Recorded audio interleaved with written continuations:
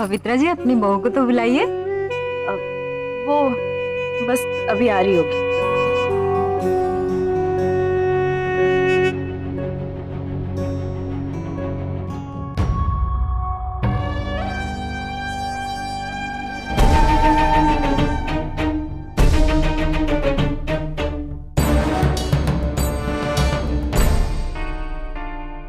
नमस्कार नमस्कार नमस्कार, सभी को नमस्कार। बहुत बहुत धन्यवाद आबा और मेरी तरफ़ से कि आप लोग मुँह दिखाई के रस्म में आए हो।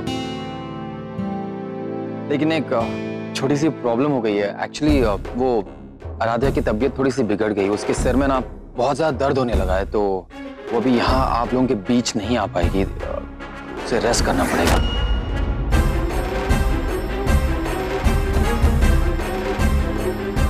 मुझे तो लगता है कुछ झोल है। लेकिन आप लोग प्लीज़ खाना खाकर जाइएगा।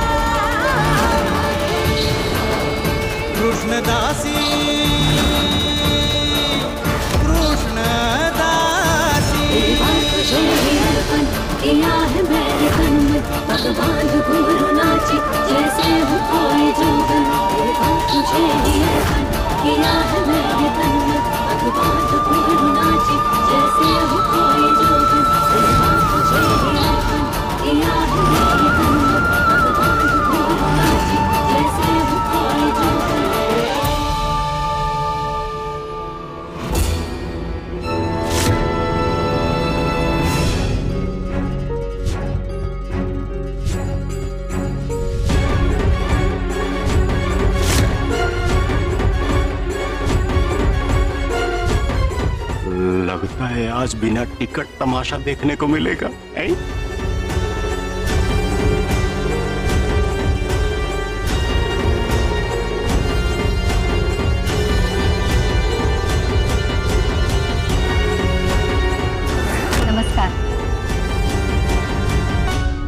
माफ़ कीजिएगा, आने में थोड़ी सी देर हो गई मुझे। दरअसल क्या है ना कि मैंने अपने पति से बहाना बनाया कि मेरे सर में दर्द है।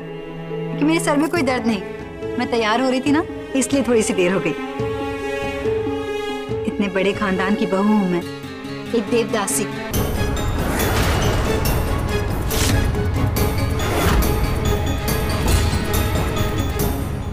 हमारी एक प्रथा है।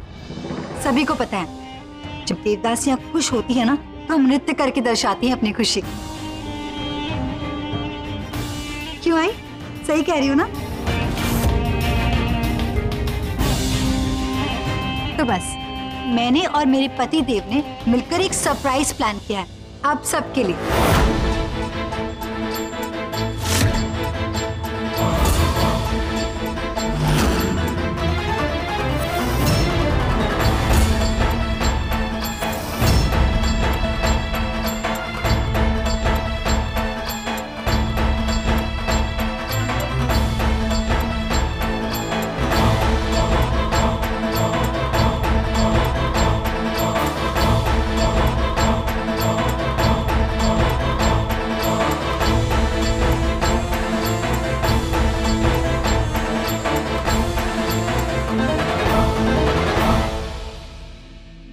आजी आई Kamini ji thank you so much आप लोग यहाँ पर आए। मुझे बहुत खुशी हुई।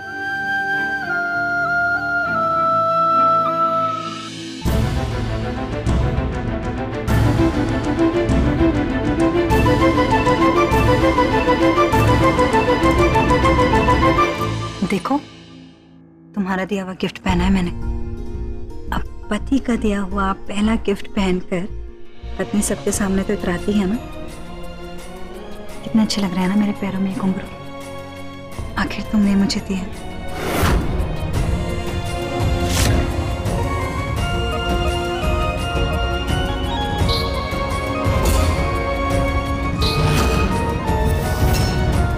कितनी अच्छी आवाज़ भी कर रहे हैं।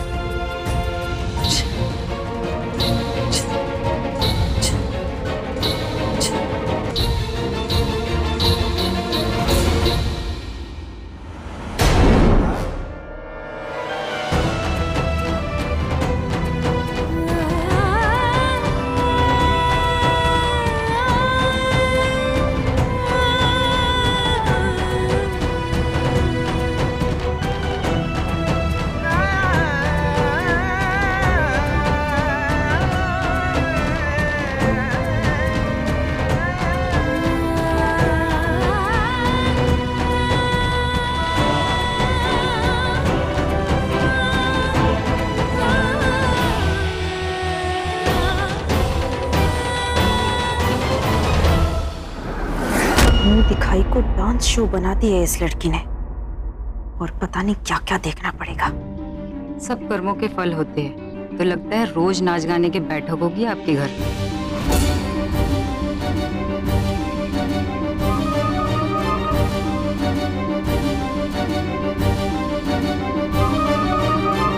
ऐसे क्या देख रहे हैं आप लोग? कोई बात छुपी नहीं है। सभी जानते हैं कि मैं किस परिवार से हूँ। मैं बहुत खुशनसीब हूँ। बहुत ज़्यादा खुशनसीब के इतना बड़ा खानदान। राव परिवार ने मुझे अपनी बहू बनाया। आराध्या तुलसी से आराध्या तुलसी आर्यन राव बनाया।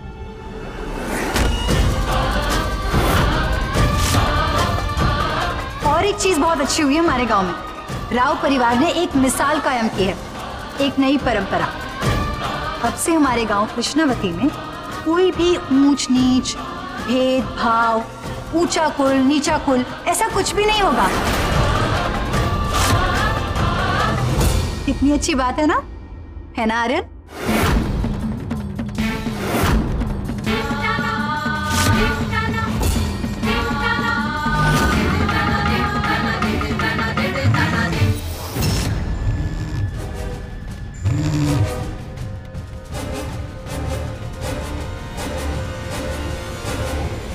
तुम्हारे परिवार की इज़्ज़त कम नहीं होने दी। और हाँ ऐसा कोई काम नहीं करूँगी जिससे तुम्हारे परिवार की नाक कटे, क्योंकि तुम्हारा परिवार मेरा परिवार भी है। लेकिन तुम तुम कोई मौका नहीं छोड़ते ना? मुझे नीचा दिखाने का, मुझे गिराने का, है ना? लेकिन अब तुम्हारे हाथ में तुम्हारे परिवार की इज़्ज़त बढ़े या घटे। सोच लो, आर्यन विद्याधर राव क्या बोलकर बुलाओगे मुझे? एक देवदासी क्या फिर अपनी पत्नी?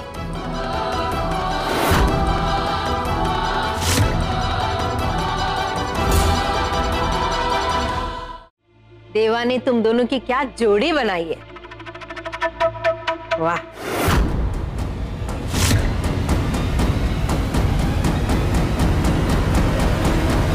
आप सभी को बहुत बहुत धन्यवाद मेरी पत्नी के मुँह दिखाई रस्म में आने के लिए।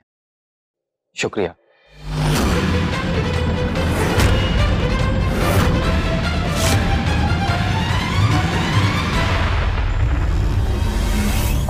चाहो तो अभी प्लीज़ डिनर के लिए गार्डन में जा सकते हो। वाह, क्या बात है मेरी अरू। तुझे किसी की नज़र ना लगे। खूब छान ग अरू। सुंदर। क्या अद्भुत और अनोखी मुँह दिखाई थी ये। तुम लोग ऐसे क्या खड़े हो? ताली बजाना तो भूल ही गए। ताली बजाओ।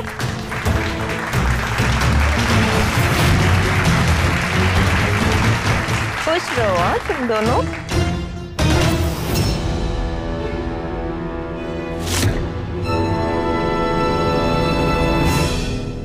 बार बार फ़ोन काट रही हूँ समझ नहीं आ रहा। क्या आफत आ गई? आफत? आफत अभी कहाँ आई? क्योंकि अभी मैं चुप हूँ। वरना इस 317 के राज को मैं कभी भी खोल सकता हूँ। तीन सौ सत्रह? तुम कैसे जानते हो 317 के बारे में? कौन हो तुम? बेकार के सवाल मत करो। सही सवाल करोगी सही जवाब मिलेगा। क्या क्या जानते हो 317 के बारे में? ये हुई ना बात। वैसे तुम 317 का राज पता करने के लिए कहाँ कहाँ नहीं गई? कुछ पता चला? नहीं ना। मैं वो हूँ जो तुम्हें इस राज के बारे में बता सकता हूँ। जल्दी से मुझे मिलने आओ। पुराने मंदिर की पीछे वाली गली में। अभी? इतनी रात को? हाँ अभी। इतनी रात को। लेकिन अभी? वरना कभी नहीं।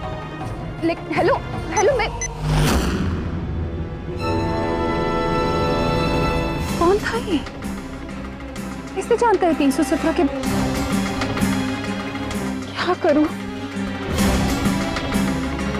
इतनी रात में क्यों बुला रहे हैं? नहीं, कुछ। नहीं। ये मौका हाथ से नहीं जाना चाहिए। वरना कभी नहीं पता चल पाएगा मुझे।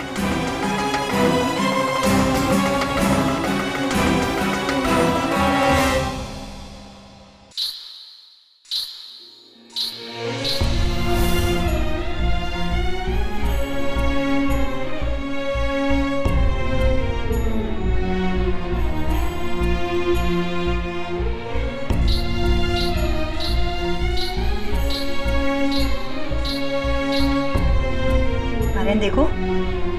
तुम्हारे दिए हुए घुंघरू मैंने अब तक नहीं उतारे।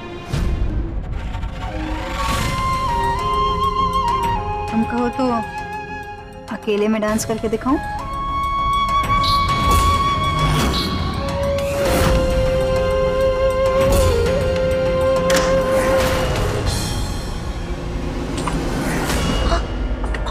ना तो मैं इनका है, ना मैं विश्वामित्र। समझ भारत में ये बात? हाँ? तूने जो इंसल्ट किया ना, आज मेरी फैमिली की। देख मैं तेरे साथ क्या क्या करूँगा आज। तब तेरे को समझ आएगा। समझ आ रहा तुमको? क्या करोगे हाँ? अगवा करवाओगे मुझे? किडनैप करवाओगे अपने आबा साहब की तरह? या फिर किसी गुफा में बंद कर दोगे? चूहों के साथ। बोलो। फिर अपने दिल में रखोगे। नासूर बना के हमेशा के लिए। मैं भी तो देखूँ कि राव खानदान के चिराग में कितना दम तुझे क्या लगता है हाँ? तुझे क्या लगता है? कि मैं पुलिस से डरता हूँ हाँ? पुलिस से डरता हूँ। कितनी बार और धमकी देगा मुझे बताओ? पुलिस का नाम कितनी बार और लोगी बताओ मुझे हाँ? यही भाषा समझते हो ना तुम? इसलिए मैं तुम्हें बार बार धमकी देती हूँ। इंस्पेक्टर दामिनी का नंबर मुझे मुँह जुबानी याद है। बोलो बोलो तो फ़ोन लगाऊँ अभी? लगाऊँ? हम्म? बोलो ना आर्यन। बुलाओ पुलिस को।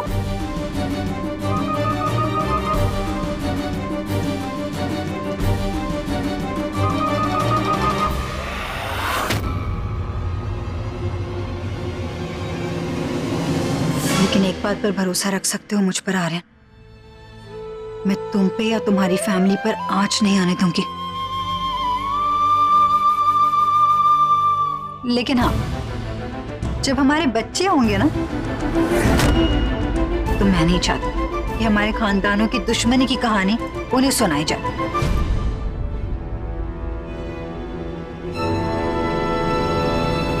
क्या कहा तुमने? हाँ? क्या कहा? वही जो तुमने सुना हमारे बच्चे। दो लाख बत्तीस हज़ार तीन सौ चौबीस बार बोल चुका तुझे कि तेरे और मेरे बीच में पति पत्नी का कोई भी रिश्ता कभी नहीं हो सकता। दिमाग खराब हो चुका तू पागल बन चुके, तुझे बात समझ नहीं आ रही है। दो लाख बत्तीस हज़ार छह लाख सात सौ पच्चीस, पता नहीं क्या क्या नंबर बोल रहे हो शादी के बाद एक बार भी हम बैठ के ठीक से बात नहीं किए, एक बार भी नहीं। और अब शादी के बंधन में बंध गए हैं तो बच्चे तो होंगे ही, है ना? तुम्हारे पास ज़्यादा ऑप्शंस हैं नहीं।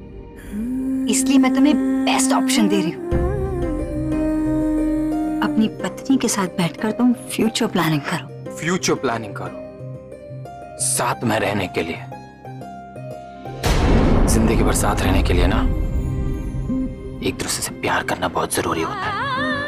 और उससे ज़्यादा इंपॉर्टेंट एक दूसरे को रेस्पेक्ट देना, जो हमारे बीच में नहीं है। तो मेरे कमरे में आग ज़रूर जमा सकते हो, लेकिन मेरे दिल में नहीं। इस कमरे में एक पल भी तेरे साथ नहीं रहूँगा मैं। सर्टिफिकेट वाली दो फुटिया वाइफ नहीं जा सकते। क्या कर लोगे? इंस्पेक्टर दामिनी के पास जाकर उससे कंप्लेन करोगे? और बुलाने के बाद वो क्या करेगी? इस कानून के तहत वो तुझे और मुझे एक ही बिस्तर पर सोने के लिए मजबूर करेगी? दिल का कानून।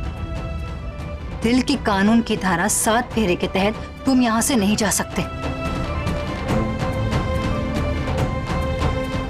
आर्यन आर्यन जाके दिखाओ यहाँ से। हाथ हटाओ। मैंने कहा तुम यहाँ से नहीं जाओ। हाथ हटाओ नहीं तो हाथ तोड़ दूँगा। आर्यन ये हमारा कमरा है तुम यहाँ से नहीं जा सकते। मैंने बोला हाथ हटाओ। आर्यन समझ में नहीं आ रहा तुम हाथ हटाओ। आर्यन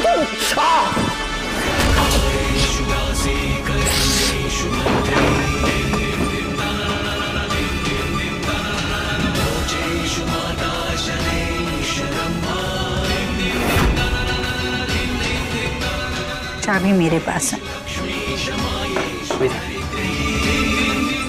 चाबी दे। नहीं आर्यन मज़ाक नहीं हो रहा चाबी मैं भी मज़ाक नहीं कर रही हूँ। तुम यहाँ से नहीं जा सकते मैंने कहा ना।